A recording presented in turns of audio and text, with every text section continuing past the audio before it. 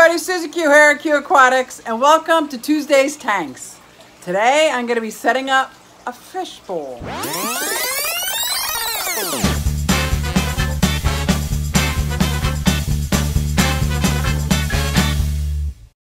That's right, a fish bowl. Let's go check it out. So look what I got at an auction. I'm so stoked I'm going to set it up. Now, it's pretty small. It's less than 20 gallons, so I don't know what I'd put in it. Maybe my pea puffers. I did just get some poison dart frogs. Maybe I'll set it up as a terrarium. But either way, it looks pretty cool. So I'm going to set it up. Check it out. Oh, wow. Looks like it's run off a sponge filter. And it looks like it's going to be its own light source. Yep,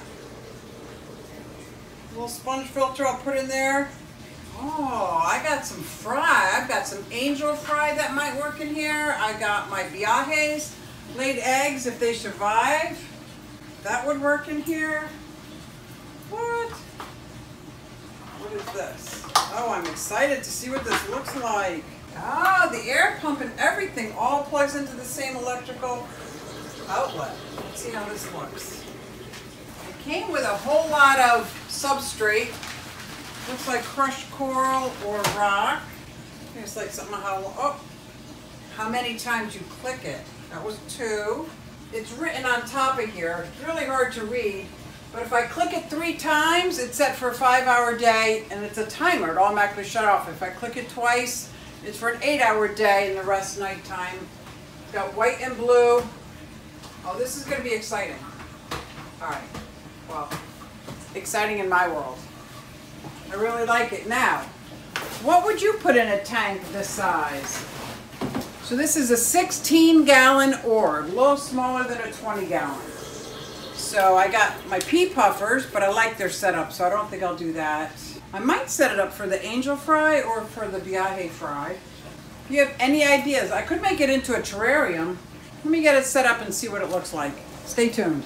And if you have any ideas or comments on what you would put in this, um, what you would put in this 16 gallon orb, let me know. It's going to be run off a sponge filter and it's going to have a timer for lights. I would love to hear your comments. Well, I think I'm going to like this very much.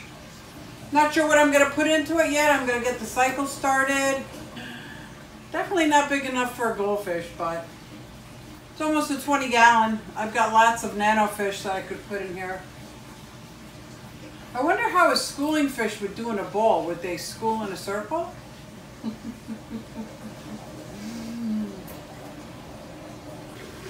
okay, so I'm filling up the tank now.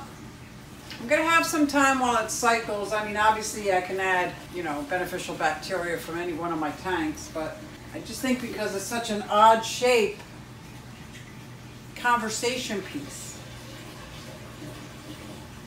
We'll see how it evolves. I'm gonna add some plants. Although there's not a whole lot of, there's no dirt down there. It's just the, um, not even gravel.